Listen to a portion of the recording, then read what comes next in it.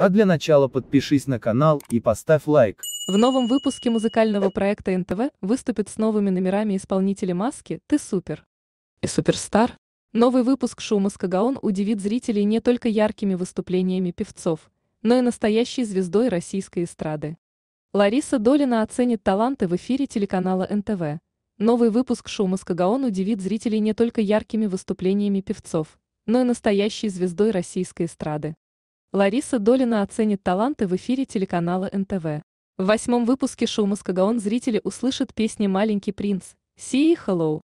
Продюсеры шоу каждый раз поражают технологиями расширенной реальности. В прошлый раз поклонникам запомнились выступления Кирилла Туриченко и Карины Кокс, а на этот раз организаторы обещают удивительный номер от Вячеслава Макарова.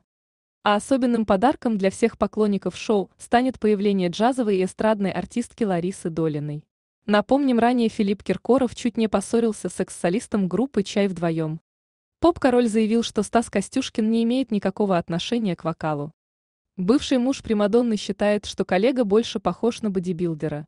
Восьмой выпуск шоу-шоу «Маскган» выйдет в эфире НТВ 13 ноября в 20 часов 20 минут. Большое спасибо за просмотр. Ставь лайк и подписывайся на канал.